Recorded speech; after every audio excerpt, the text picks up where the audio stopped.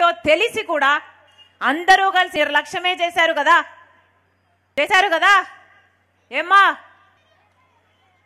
ఈరోజు రాజశేఖర్ రెడ్డి బిడ్డ ఈ షర్మిల ఇంకా అసెంబ్లీలో అడుగే పెట్టలేదు.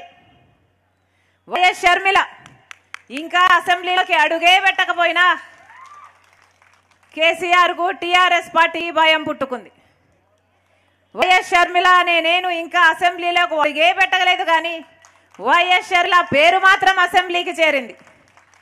ఉమ్మడి పాలమూరు ఎమ్మెల్యేలు మంత్రులు అందరూ కలిసి నా మీద కంప్లైంట్ చేశారంట అసెంబ్లీ స్పీకర్. ఏమని కంప్లైంట్ చేశారు?